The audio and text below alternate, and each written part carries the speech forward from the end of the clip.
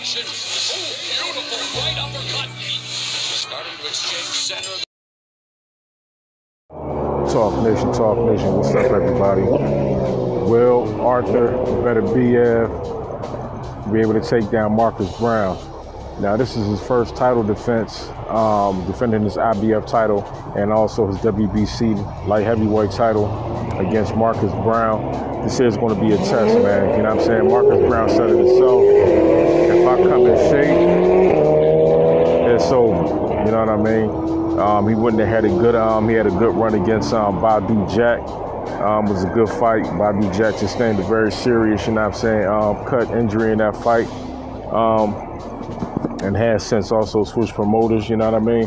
But at the same time, man, the Quebecan killer, you know what I mean? Beterbiev, very talented light heavyweight. A lot of people have him as the one, two dethrone pound for pound king, Canelo Alvarez. So will he be able to withstand the onslaught of uh, Marcus Browne? You know what I mean? It's going to be very interesting, man. You know what I mean? But if Arthur Better Beterbiev, if he has a good start to this fight, I see him picking uh, Marcus Browne apart. I say by the uh, fourth round. I don't see this fight going the distance. I believe um, Browne possibly will get stopped and knocked out in this fight. Beterbiev, you know what I mean, has a perfect record. Um, also a perfect knockout record. I believe, you know I'm saying, the best um, knockout re- ratio, excuse me, um, I guess opposed to wins in boxing. You know what I mean? Besides that, I believe it's probably um, Deontay the Bronze Bomber Wilder.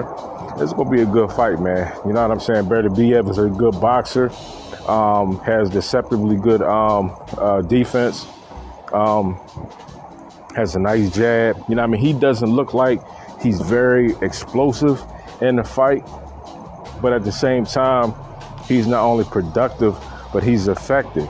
You know what I mean? He's only had like one fight where he allowed the fight, as he said, to go the distance because he wanted to see if he can go 12 rounds. And um, immediately he came out, you know what I mean, and dispatched his opponent. Will he have the same game plan in this fight? I don't think that he should. I believe that he should box a smart fight.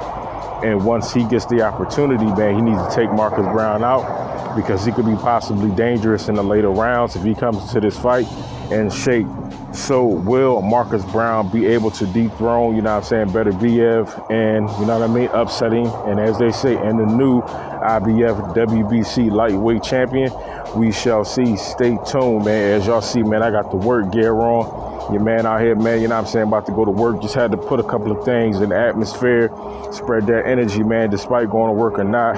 Hey, man, still a fight fan all day, all night. So I had to put something out for the people, man. Hope everybody is blessed. Well, you know what I'm saying? And if you home, man, sit back, enjoy the fight, and drink a cold one for me or smoke one for me. You dig what I'm saying? Because your boy can't, man. You know what I mean? I got to go out here and I got to grind. Why? Because that's what grown ups do.